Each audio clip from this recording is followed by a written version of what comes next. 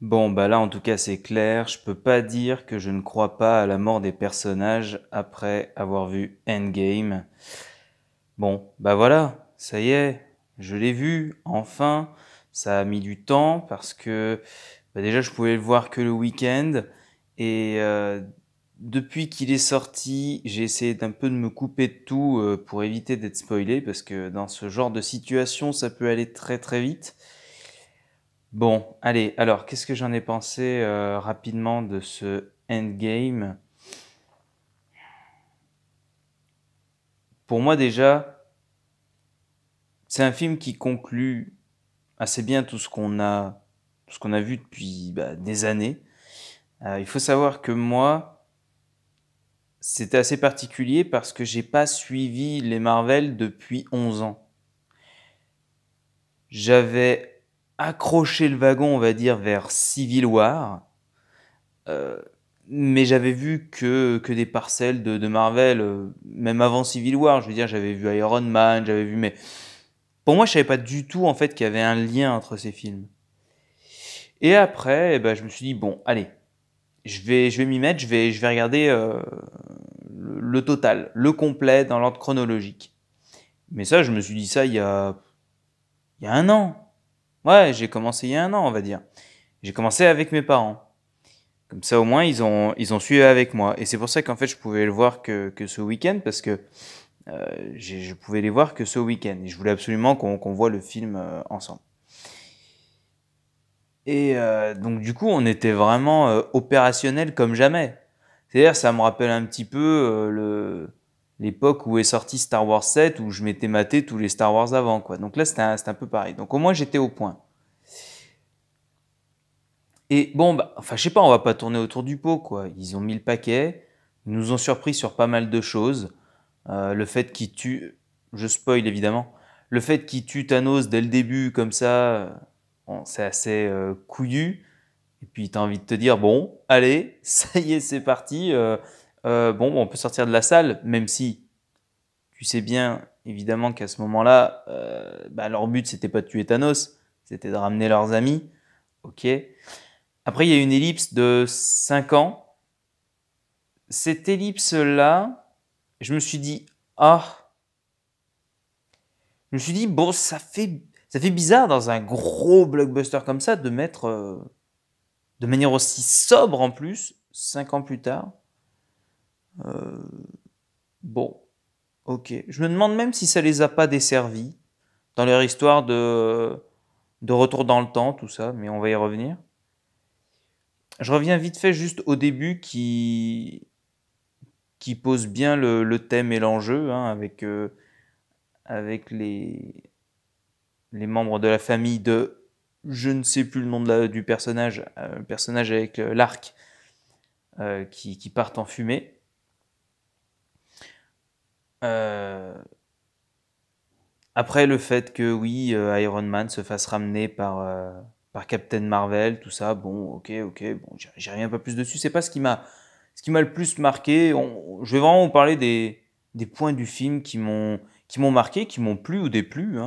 On, va voir, on, va dérouler. Justement, on va revenir à, ce, à ce point du du retour dans le temps. Déjà, j'ai apprécié les, les références à Retour à le futur, évidemment, même si, euh, je sais, ça, ces références euh, n'ont pas été bonifiantes pour le film, étant donné qu'il qu le dénigre un peu en disant Ah, c'était pas une vaste fumisterie, ce machin et tout. Mais ils s'en amusent. Et j'ai l'impression qu'en fait, ils ont parlé de ça essentiellement parce que les gens vont euh, forcément y faire référence, au moins dans leur tête, inconsciemment, quand ils vont visionner le film. Et si jamais il démonte pas entre guillemets la théorie du retour dans le temps de Retour à le futur, les gens vont trop s'y fier et vont dire ah ouais mais dans Retour à le futur on dit ça alors qu'eux ils font ça. Donc ils l'ont dénigré exprès pour s'en émanciper. C'est comme ça que je le vois.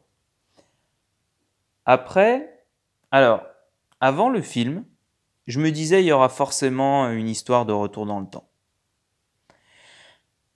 je me suis dit, euh, il y a Doctor Strange qui a prévu quelque chose euh, avec la, pierre du temps. Enfin, la pierre du temps euh, va les aider.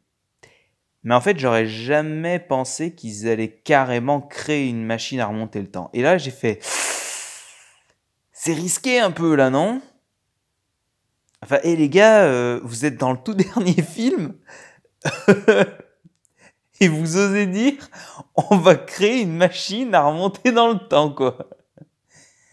Sachant que c'est pas un film qui se veut à remonter le temps. Enfin, je disais, c'est pas un film sur le.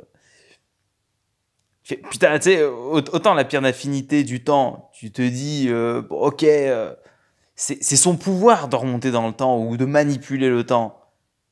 Alors, tu peux te dire, ok. Mais là, ils veulent créer une machine à remonter dans le temps. Ok. Je dis, putain, alors déjà, créer une machine à remonter dans le temps, d'accord. Mais je me suis dit, mais attendez, mais remonter dans le temps, en plus, c'est casse-gueule, ça. Là, les mecs, vous vous exposez à des trucs de fou, parce que il y a des incohérences. Alors, même si je sais, c'est, comme c'est pas un film, justement, qui est estampillé euh, retour vers le machin ou machine temporelle machin, c'est pas leur but, et donc ils ont le droit de faire, le droit, entre guillemets, de faire un petit peu n'importe quoi, et... dans la limite du raisonnable, évidemment, mais... Euh...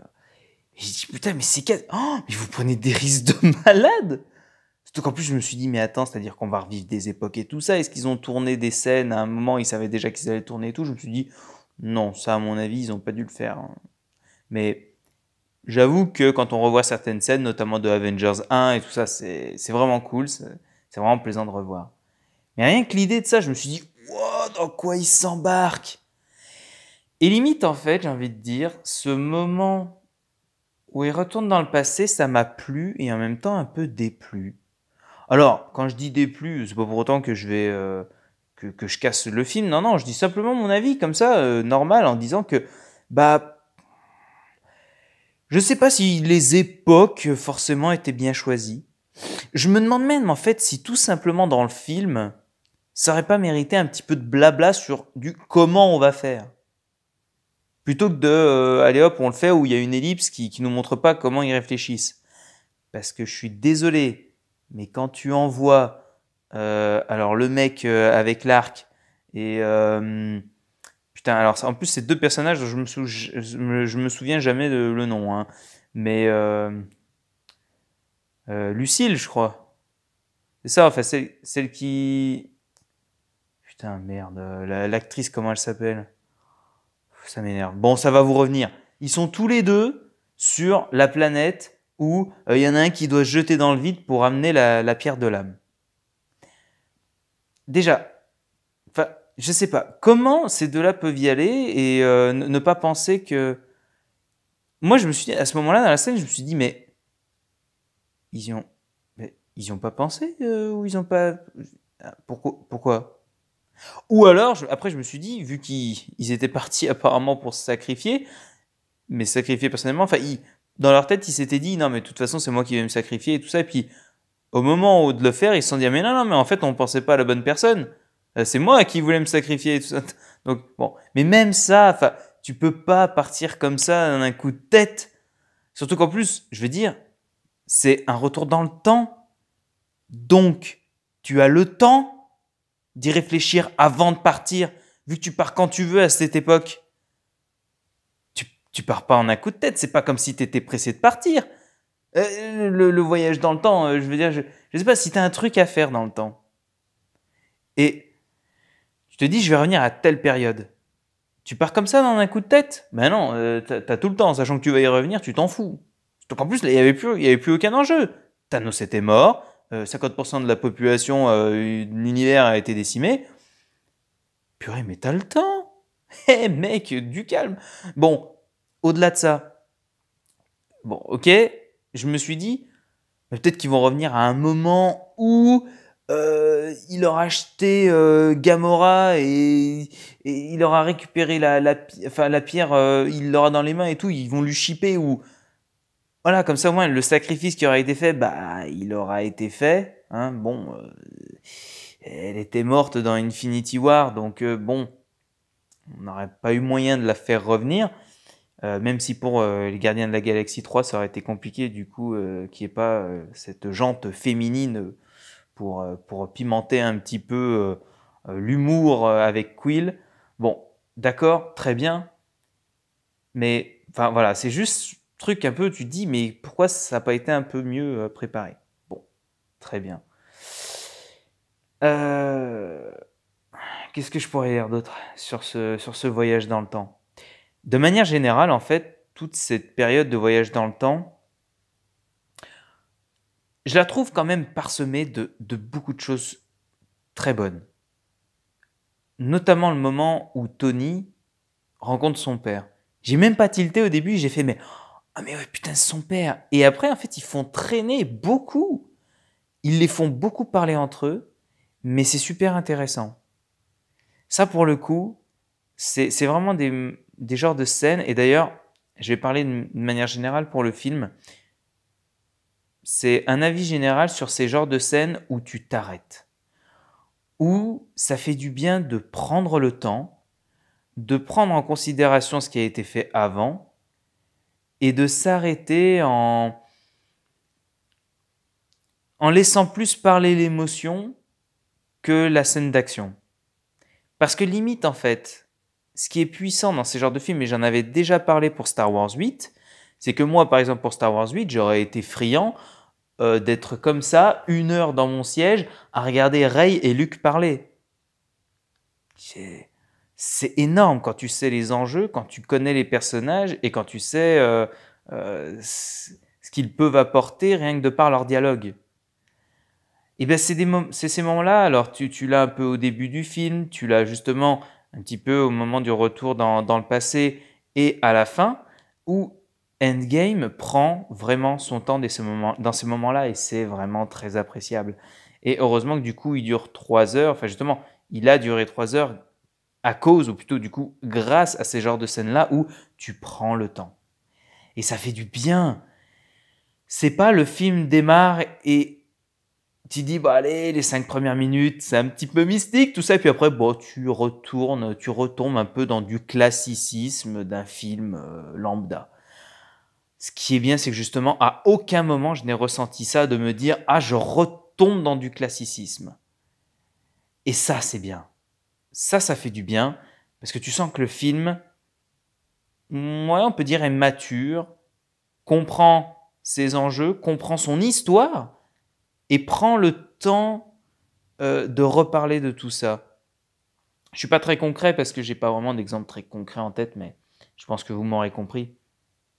C'est vraiment qu'il se pose en fait à beaucoup de moments. Et ça, ça fait du bien. Parce que tu, sens qu'il y a tout un background derrière. Et c'est ça, ça qui est énorme avec ces genres de films. Ouais, moi je suis totalement fan de ces genres de, de choses où ça, ça, met en place toute une structure pendant un moment et puis à un moment tu arrives à la fin. Et, et tu vois des liens de fou et tout, même si je suis d'accord, en 11 ans, ils n'ont pas forcément tout prévu, ils ont dû certainement s'adapter sur beaucoup de choses. Et effectivement, il y a pas mal de choses qui sont incohérentes ou que tu comprends pas. Euh, ok, d'accord. Mais tu sens que bah voilà, il y a quand même eu un, énorme boulot derrière et puis c'est vrai que c'est un truc de fou. Mais mais quand même, de manière générale, cette phase de retour dans le passé, ça aurait pu être une phase euh, que, j'aurais, qui aurait pu être euh, kiffante euh, plus de trois fois mille. Mais bah, si vous me dites là, vas-y, tu, te remettrais cette partie-là du film, bah je serais pas enclin. Même quand je suis sorti du film, je me suis dit, tiens, est-ce que j'aimerais le revoir là? Je me suis dit non. Bon, je me suis dit aussi que il me fallait un peu le temps de le digérer, mais je sais pas. Je pense que c'est un film qui se voit une fois. Après, moi, je suis très comme ça, moi. Je suis très, euh, j'aime bien vivre les émotions qu'une fois. Parce que dès que je les revis tout de suite après, ça perd tellement en saveur. Moi, j'aime bien, tu expérimentes quelque chose d'exceptionnel une fois et tu, la gardes simplement en tête, en esprit. Ça entretient un petit peu euh, l'aspect euh, féerique et rare et précieux du moment que tu as vécu. Et le revivre tout de suite après, ce serait casser ce moment précieux. Là, le garder en tête, ça te, ça te laisse avoir une certaine légèreté. Et limite, je serais enclin à le revoir peut-être dans un an, alors cette chose me fait... C'est à peu près pareil pour les Star Wars, mais j'avoue que les Star Wars, j'aime bien quand même les revoir assez rapidement. Mais une fois que je les ai revus deux, trois fois, je les remate pas euh, euh, pendant un, deux, trois ans. hein. Star Wars 7, putain, ça fait longtemps que je l'ai pas vu, quoi. Star Wars 8, je l'ai vu beaucoup à sa sortie, mais là, ça fait un moment. Et euh, là, vous me dites, euh, t'as envie de le revoir? J'ai envie de dire, ah ouais, il y a cette scène, cette scène et tout, ouais, ça me ferait trop kiffer. Mais non, j'ai pas envie de le revoir. Non, parce que pour moi, il n'y a pas trop, il n'y a pas de temps qui, qui est passé. Mais bref. Tout ça pour dire que j'aime bien tout ce qui se passe dans le film, jusque-là en tout cas, mais que toute cette phase de retour dans le passé, euh, je pense qu'il y aurait eu. C'est pas moi qui fais le film, hein, donc je saurais pas trop quoi conseiller d'autre. Mais je pense qu'il y a des époques qui ont été mal choisies, des situations qui ont été mal choisies, des personnages qui ont été mal choisis pour telle époque et tel euh, endroit, et que même les péripéties qui s'y passent ne sont pas si ouf à certains moments. J'aime bien, c'est marrant parce que je suis rarement aussi, entre guillemets, négatif pour un film, mais il faut pas voir là-dedans de la négativité. Je, je suis pas en train de le démonter ou de dire ah ça m'a pas plu du tout parce que franchement, je, je vous dirais juste un ressenti global sur le film, c'est que pour moi c'est du 80-85% génial. J'ai kiffé, j'ai ressenti des frissons et allez hop, euh, emballer c'est pesé, j'arrête la vidéo maintenant.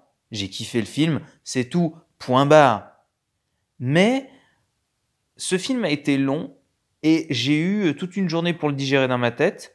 Et limite, euh, je peux en parler du coup plus calmement en passant vraiment de manière un peu plus précise sur des points qui m'ont un petit peu chagriné et où je me dis ça aurait pu même être encore mieux. Et je pense notamment à une autre scène qui pour moi méritait euh, d'être encore plus épique qu'elle l'est déjà. Mais je, je pense que vous voyez de quoi je veux parler. Mais d'ailleurs, on, on va pas on, va pas euh, mettre trop de temps avant d'y arriver, vu que de toute façon, après, bon, d'accord, ils récupèrent les trucs, euh, ils reviennent. Alors justement, ils, embarquent la mauvaise sœur de Gamora. Euh, Hulk claque des doigts, donc il fait, il revenir les gens à la vie. Et là, il y a un truc que j'avais pas tilté tout de suite, mais on, va y reviendre. On, va, y reviendre. Oui, on va y reviendre. on va y revenir. Euh, ouais, j'avais pas tilté un truc tout de suite, mais on va y revenir. Donc, ils, ils claquent des doigts et tout ça, et puis d'un coup, ils se font bombarder du coup par le, par le vaisseau de Thanos qui, lui, du coup, a, a- eu le temps de, de revenir grâce à la sœur de Gamora. La, la sœur du passé qui, ben voilà. Vous, vous le savez, vous l'avez vu, c'est bon. Et, euh, et ouais, en fait, ce que, ce que j'avais pas tilté, c'était que, ok, donc il avait claqué des doigts et tout ça, donc euh, les gens étaient revenus à la vie, à part Thanos, justement, qui est. Enfin, enfin, je veux dire, à part Thanos qui, lui, venait du passé et qui, qui avait rien à foutre là à la base. Et, euh, et quand je les vois tous débarquer avec les portails de Strange, là, je fais, mais. Mais oui, mais eux aussi, du coup, enfin, je veux ils sont revenus vivants, ils sont tous là. Et puis c'est là où t'as. Parce que moi, du coup, ça a, une- été une double émotion. Parce que euh, il y a la première grosse émotion où tu, où tu vois tout le monde qui revient et tout. Là, enfin, f- faut pas se leurrer. Je pense que cette scène où tu as tous les Avengers et toute la grosse armée qui, qui sont là tous au même endroit, je pense que c'est la scène qui en a fait frissonner, pleurer, bondir du siège plus d'un. Je pense que, je pense que c'est la scène. J'ai pas regardé de critique ou quoi que ce soit, mais je pense que c'est la scène. hein. Euh, Je crois qu'on est d'accord. Mais c'est la scène, moi j'ai ressenti des frissons, tout ça. euh, ouais, c'est- C'était assez insensé. Puis tu te dis, ça y est, voilà, le résultat de 11 ans de film, et puis tous ces héros et tout. Et puis quand tu as suivi la chronologie, tout ça, tu les vois tous, tu fais waouh. Enfin, t'es obligé de bugger, t'es obligé de bugger. Mais la double chose, c'est que au moment où Hulk avait claqué des doigts, j'avais même pas tilté qu'ils étaient vivants. Alors j'ai fait ah mais oui, mais mais oui, mais ah ils sont vivants, mais ah ah ils sont tous là. Ah, ah. Voilà, ça, a été un petit peu un- un- une montée en puissance comme ça dans ma tête, ça a été assez incroyable. Et, euh, eh ben on va en revenir à un autre euh, petit bémol hein, quand même, parce que moi mon autre bémol, c'est que bon certes, moi j'ai bien apprécié la bataille, tout ça, il y a, il y a aucun problème. C'est difficile à gérer autant de héros et tout ça, mais je m'étais fait la réflexion déjà dans Civil War quand ils se bastonnent tous et tout. Je me dis, c'est compliqué de tous les gérer. Et pourtant, les scénaristes, ils ont réussi euh, à trouver des, choses sympas à faire, euh, bien qu'ils soient euh, nombreux. Et là aussi, c'était un peu le même cas, sauf que j'en aurais voulu un peu plus. Alors, je suis gourmand, je sais pas, mais j'aurais aimé voir Doctor Strange utiliser beaucoup plus ses pouvoirs plutôt que de juste arrêter l'eau. j'aurais voulu voir un peu plus de trucs qui, partent dans tous les sens. Une caméra peut-être plus au cœur de l'action. Je ne sais pas si vous allez pouvoir comprendre ma vision, mais j'ai l'impression que déjà, il y avait beaucoup de cuts d'un endroit à un autre, et on voyait des petites parcelles de bataille, etc. Mais à aucun moment il y avait, on va dire, une grosse bataille globale. Par exemple, je ne sais pas, Thanos qui aurait pu se battre contre beaucoup plus de persos que ça et où ça s'entremêlait de tirs blaster, de lasers, de d'éclairs, de machin, et t'as la caméra qui passe entre comme ça. Je vous le fais un petit peu avec mon portable. On a comme ça, tu passes, là t'as un éclair qui arrive et tout. Ah, ça va, vous avez pas la nausée J'espère que vous regardez pas cette vidéo en réalité virtuelle. Non, non, c'est pas activé. Mais non, mais je sais pas si vous voyez ce que je veux dire. Le truc de, je sais pas comment le dire, mais quelque chose où, tu as vraiment l'impression d'être plus au cœur de l'action, où tu vois beaucoup plus le pouvoir de chacun et où euh, t'en prends plein la gueule, t'es là, es, ce, serait un moment où t'es là, t'es, euh, c'est épileptique. Vous voyez ce que je veux dire? Eh ben, hmm, il manquait ça. Il manquait ça, mais de peu, quoi. Un petit truc en plus, tu t'attardes un peu plus sur ça, tu mets un peu plus de pouvoir, tu mets un peu plus de je sais pas, genre Thanos qui a deux, trois, quatre pierres avec lui, qui les a pas toutes, et qui est là et qui. Les pierres, elles ont chacune un attribut particulier. Je sais que ça a déjà été plus ou moins fait et utilisé dans Infinity War, mais. Ah, mais là, c'était le moment de mettre le putain de paquet. En plus, le, bouquet. Voilà, voilà, voilà, voilà. On va arriver au mot qui, qui met très bien en valeur ce que je voulais. C'était un bouquet final. Imaginez un feu d'artifice long de 30 minutes, une heure, et où le bouquet final dure deux minutes et est pas aussi explosif qu'un bouquet final habituel. Voilà ce que j'ai ressenti. Je n'ai pas ressenti un vrai bouquet final. C'est ça, c'est dommage. Il y aurait eu moyen de putain mais mettre le paquet de fou. Dommage. D'autant plus que j'ai l'impression qu'il n'y a pas eu besoin d'un budget monstrueux, étant donné toutes les scènes qui sont assez posées et tout, tout l'argent qu'ils ont dû engendrer avec tout ça et tout. Enfin, je veux dire, ils ne doivent pas être à la rue. Donc là, ils auraient pu mettre. Mais. Dommage. Mais je suis pas. Je suis pas. Voilà, on dirait trop que je suis négatif, mais c'est juste des petits trucs. En fait, vous voyez, comme je vous l'ai dit, pour moi, c'est du 80%. Enfin, je veux dire, le film, c'est voilà, c'est bon, c'est acté, il est, il est trop cool, il est bien, il est énorme. Voilà. Mais en fait, je suis en train de chercher là les petites bêtes qui, auraient pu, qui auraient pu le rendre parfait. Ou à la limite du parfait. Parce qu'en fait, c'était accessible pour eux. Mais j'ai l'impression que. Ah, ils sont passés à ça. Mais ils y sont passés. C'est dommage. C'est dommage. Après, il y a, on va finir sur un truc, euh, évidemment, c'est ce par quoi j'ai commencé la vidéo, je crois, sur le fait que ben, maintenant je peux que croire à la mort des personnages. Hein. Ah non, euh, moi c'était le truc que, que, je me disais tout le temps, c'est je me disais non mais ils ont beau crever, tu y croiras pas une seconde vu qu'on sait qu'ils vont revenir. En tous les cas, enfin, ils peuvent pas faire crever un, perso comme Iron Man, Captain America ou truc comme ça, c'est pas possible. Mais là en l'occurrence si du coup. Iron Man, euh, Lucille, si elle s'appelle comme ça, et euh, Captain America, entre guillemets, j'en oublie pas. Captain America par vieillesse, hein, bon.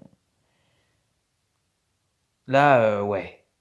Tony Stark, ça fait bizarre. Après, je crois que je, savais que, que l'acteur voulait plus renouveler pour, pour le personnage d'Iron Man, mais ça fait quelque chose hein, quand même.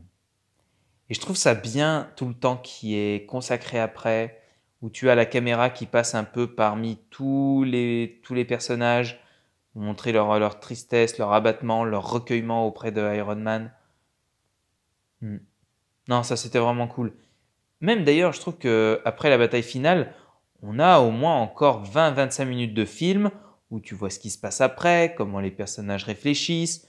Euh, ça, c'est vraiment sympa. Et dernière chose, avec euh, Captain America qui revient dans le passé, alors au début, je ne comprenais pas trop, mais si j'ai bien compris, on, on, va, pas trop partir dans le voyage dans le temps, mais juste ce que je pense en comprendre. Quand ils sont partis euh, dans le passé, ils ont fait plein de trucs. Thor qui récupère le marteau voilà, de, son lui du passé. Euh, ou enfin, il y a plein de choses comme ça qui se passent. Tu dis, mais, oh, mais ça va créer le bordel. Bon, moi, ce que j'ai compris, c'est que il y a la timeline. Ils sont partis dans le passé. Dès qu'ils changent quelque chose dans le passé, ça crée une autre timeline. Et leur but, c'était les mecs, on s'en bat les couilles de, de, de toutes les timelines qu'on pourrait créer avec les conneries. On récupère tout ce qu'on a besoin de récupérer qui peut nous aider pour justement récupérer les pierres. Notre simple but, c'est de récupérer les pierres et de revenir dans notre présent. Et une fois qu'on aura fait revenir tout le monde, qu'on aura rétabli la paix, etc., on remet les pierres d'infinité, on, retourne encore plus loin dans le passé, on remet les pierres d'infinité plus loin, et comme ça, ça efface toutes les autres timelines. C'était un, petit peu ce qui a été expliqué avec Hulk, avec Hulk et la femme là, qui, a, qui, a, qui a formé euh, Doctor Strange euh, sur le toit d'un immeuble dans, Avengers 1, je crois. Euh, ouais, c'est ça. Et eh ben, ok, donc pour moi, le but c'est ça c'était que Captain America il remonte tout avant et comme ça il n'y a plus de timeline. Donc ça, euh, donc ça, ok, moi pour moi c'est ce que j'ai compris. Vous me confirmerez ça ou pas, mais voilà pourquoi il s'en foutait un petit peu de foutre un petit peu le boxon de partout. Il y a juste un truc que j'ai pas compris, c'est Loki. Il part avec le Tesseract et est-ce que du coup cette action-là a été effacée avec justement tout ce qui je sais pas. Je sais pas. Bref, euh, voilà. Captain America qui devient vieux, qui semble vouloir passer son bouclier au, mec qu'on voit pratiquement jamais. Bizarre. Euh, et autre chose que je voulais dire, je crois, mais que je sais plus. Si, je me suis rendu compte après, euh, par rapport à Spider-Man, euh, il revoit son, son pote alors qu'il y a 5 ans qui est passé. Alors peut-être que son pote était mort en même temps. Bref. Le fait quand même que Captain America revienne et reste dans le passé, c'est un autre petit twist final qui est cool et, au final c'est ce qu'il a toujours voulu parce que enfin, ça se voyait. Il n'a pas, eu, il pas eu son grand amour et tout ça et puis c'est pas son époque. Et donc au final il a vécu... Euh, ce qu'il devait vivre, entre guillemets. Donc, euh, non, pour ça, c'est bien pour lui. Bien content. Et ça, c'est, ça donne une fin à un personnage très intelligente. Ça, c'est, ça, c'est top. Euh, Gamora aussi qui reconnaît pas euh, Quill. ça, c'est, marrant parce que du coup, c'est la Gamora du passé. Bon, très bien. Mais dans ce cas, ce que je comprends pas, c'est que si jamais en revenant en arrière, ça efface toutes les autres timelines, ça aurait dû donc effacer la timeline où Gamora euh, est dans le présent. Remarque, à la fin, on voit quand même euh, euh, Gamora, elle, est, elle est recherchée en fait.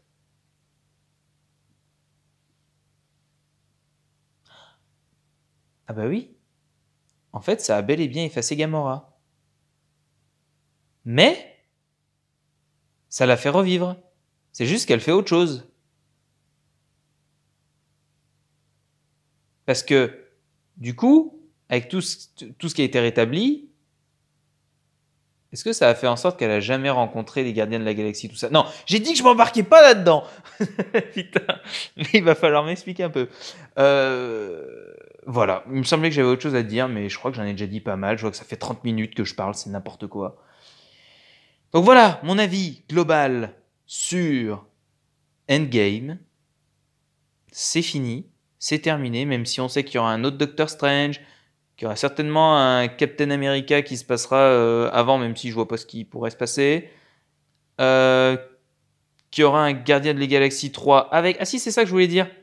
Gardien de la Galaxie 3 avec Thor. Et justement, je voulais parler très très rapidement de Thor et du fait, donc déjà, ça m'a fait marrer que, que voilà, Thor, il soit une, une lock, une maintenant. Et, euh, et je me dis, en fait, j'ai l'impression qu'il est devenu une lock dans ce film pour pouvoir être mis dans Gardien de la Galaxie 3.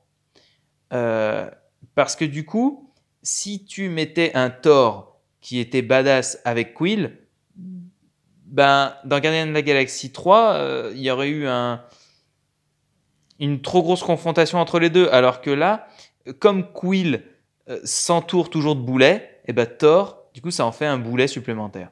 Voilà, c'est tout ce que je voulais dire. Mais bon, on sait qu'il y aura un autre Spider-Man, un autre Doctor Strange, un autre euh, Gardien de la Galaxie, tout ça. Bon, voilà. Donc c'est pas fini, mais l'arc en tout cas est terminé. Et bon, bah, pour moi, ça c'est bien terminé. Et euh, c'est vrai que c'était quand même une superbe fin et ils ont fait un truc très lourd. Voilà, je m'arrête ici, je vais pas plus loin. Je vous souhaite de bien tenir vos occupations. Ciao à tous.